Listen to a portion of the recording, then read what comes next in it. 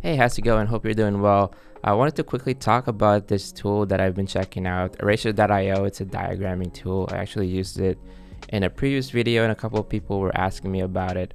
For the most part, it's a very simple tool, but you can see that it's extremely geared towards engineers. There's, there's some really well thought out uh, features in here.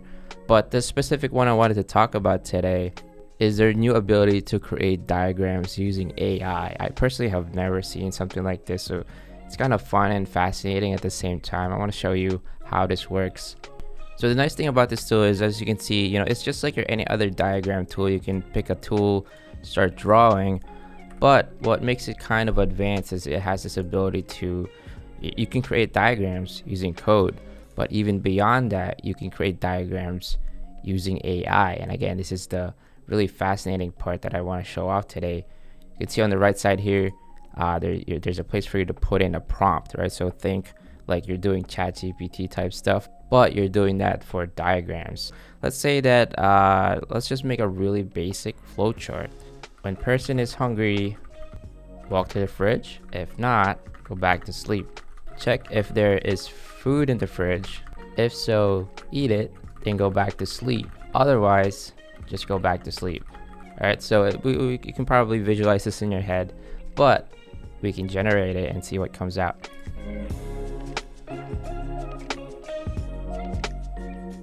There you go, and that's what it created for us, decision making when hungry.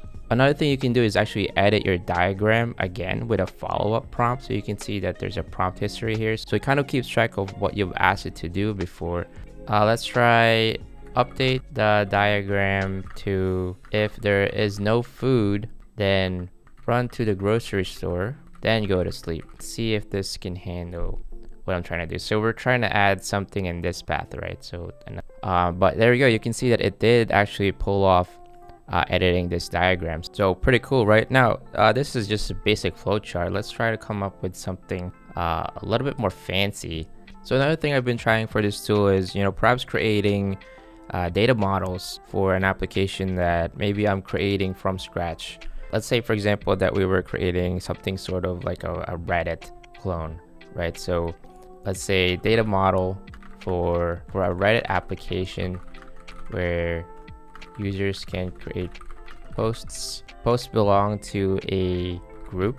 Posts can be upvoted or downvoted by users. Users can also add comments. A comment can also have underlying comments. Give this a shot. Generate. Now it does say try writing 80 plus words. I don't know if I imagine it'll become significantly more accurate. But as you can see here, even with just, you know, a, a short paragraph, it does generate something fairly reasonable. So let's take a look. We've got users and it's pointing to users owning comments and posts. A comment belongs to a post. You can see there's a post ID there a post also belongs to a group or we were saying like a subreddit.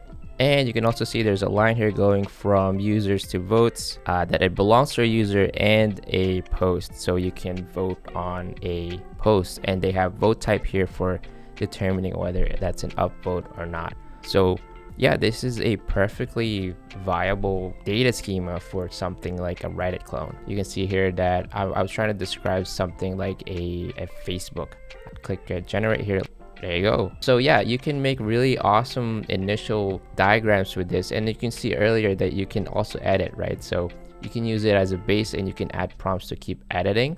So that's pretty cool, right? I do want to show you these other diagram types that it can generate. But before we get there real quick, uh, something really fascinating that I also want to share is that you can actually also add in code. You can see here, it doesn't necessarily need to be an, an English prompt, right? So it can also understand code. So for example, if I paste a couple SQL statements here. So I have a create table books, couple properties in there, and then uh, create table reviews. You can see that the book has one too many reviews, and let's try to generate that.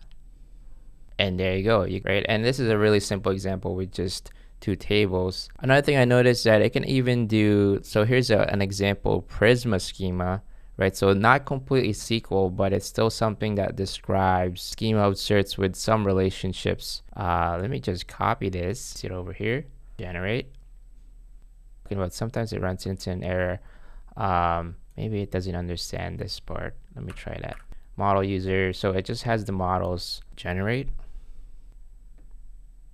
There you go. Is this similar? So if we compare this to what Prisma was expecting the data model to look like, you can see here that what they're actually expecting is, you know, a user with in a with a profile can create posts and a post belongs to a category. Uh, the one thing that's missing from my diagram is this category to post uh, relationship. So as you can see here, it just has this direct line from uh, post to categories, um, which is fine, I think, because it probably couldn't really understand that from from just the code itself, right? It was probably expecting to see a model to represent this. So so it doesn't understand that this is probably a another table, right? So one small detail there, but again, but the great thing is you can use this as a base and then you can edit this, right? As you saw, you can keep adding prompts or you can manually edit it as you need to.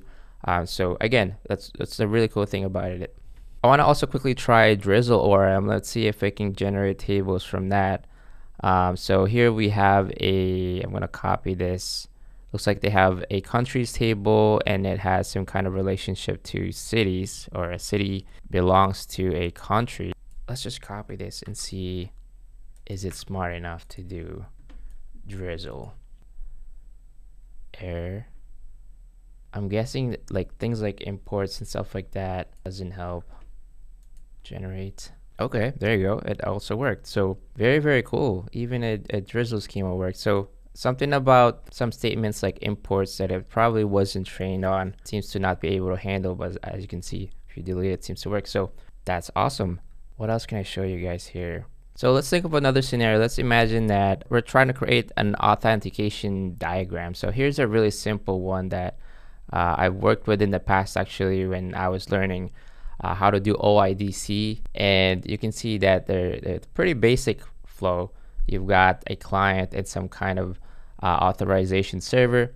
Client sends a request, they authenticate, and then that comes back with some kind of authorization code. And then you actually have to do this flow where you, you then make another token request to the server using that code, which then gets you an ID token and an access token right? And if, if you're familiar, you eventually would use the ID token to get more details about the user. You would use the access token, sort of like you know your typical JWT to keep requ to requests for API. I want to try to see if I can replicate this. So I'm going to fast forward a little bit here and I type this out. You can see uh, I said authentication flow between a client and an authorized server. And then to the best of my ability, I tried to describe the different steps and it said generate and there you go you can see uh, so not 100% what I was expecting but it's pretty close right? Like this validate credentials should have been an arrow back to the server but that could have just been uh, the way I described it here in the prompt. Probably wasn't good enough to understand that this is a step pointing to back to itself. Let's see if we can edit that. Have step two be an arrow from authorization server and back to itself. There you go, right? So that's a little bit better. That's closer to what I was expecting with the same arrow here. So pretty cool. Again, with, with a little bit of uh, follow-up, it does get pretty close to what I wanted. One more thing, I showed you some examples of entity relationships, some sequencing, and a flowchart earlier.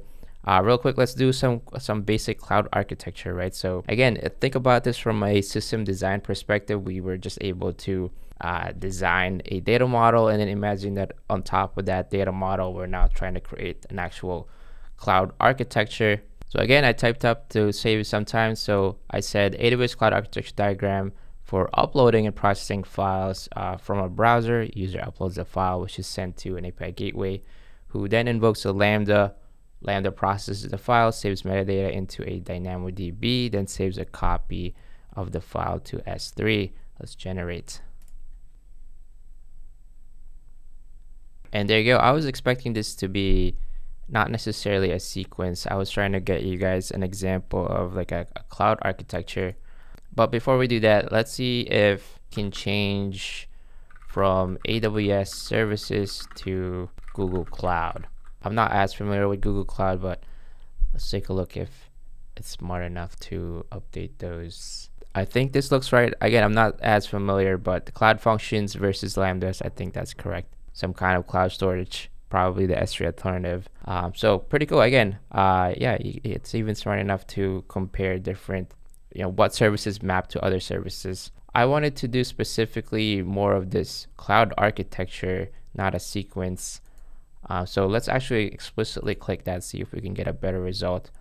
And let's maybe do a uh, location based service. Let's think like something like Yelp. User can search for businesses, uh, requests go through an API gateway, and there are two microservices. One service is for searching, let's say within a given location. The second service is for getting details about the given.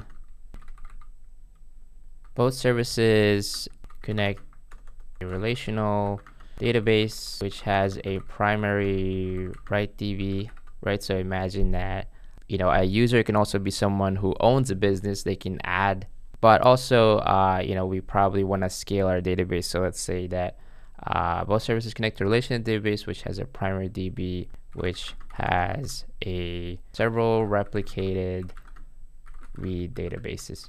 Start with that. There you go. So this is what I was kind of expecting, closer to you know if you were diagramming a, a system diagram. Um, so yeah, API gateway pointing to two lambdas talking to some databases, and it was able to you know create me a couple replicas there. And again, uh, we should be able to edit this. For example, add a service for creating businesses. And let's see if we can maybe have uh, one of the service talking to a different database. So uh, update search service to to a different locations database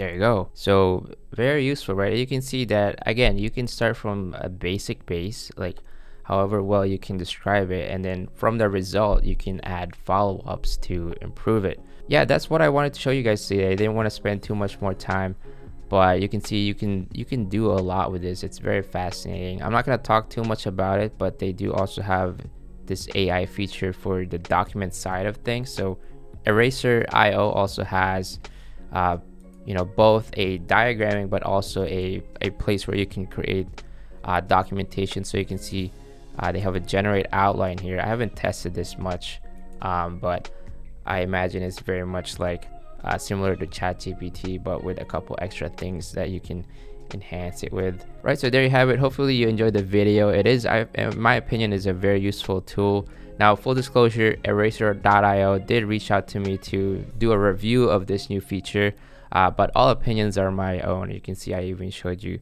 some of the errors I ran into. So for the most part, in my opinion, uh, this is an extremely useful feature for my day-to-day workflow as someone who is, you know, both a full-time software engineer. I have to create uh, diagrams like this, and also for someone who creates content, right? I often have to create diagrams for just explaining how things work.